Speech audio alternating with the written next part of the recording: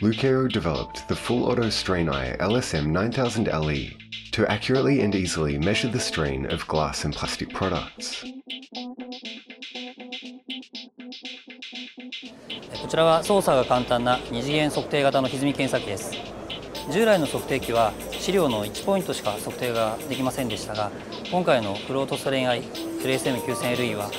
資料の全面測定が可能になります Until now, the mainstream devices for measuring strain and the like have been visual observation type strain testers that use the Cenemont method. With the Cenemont method, an operator rotates the analyzer to change the brightness of the measurement location, and the degree of strain is then measured by rotated angle. 新製品の LSM9000LE は回転健康手法という方法を用いていますこの方法であれば測定者が資料を測定器にセットするだけで 簡単に測定を行うことが可能です。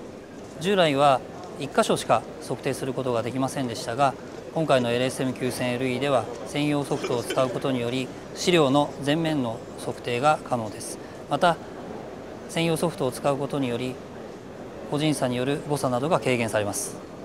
遮光用シャッターを装備していますので明るい場所での測定が可能です。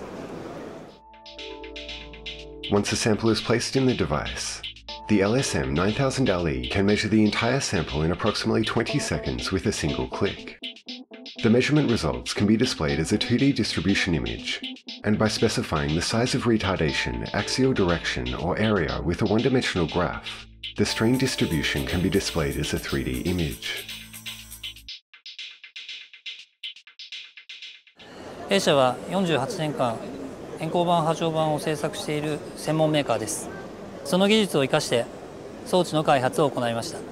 さらに専用ソフトを自社で開発することにより安価に製作することに成功しました。価格は250万円です。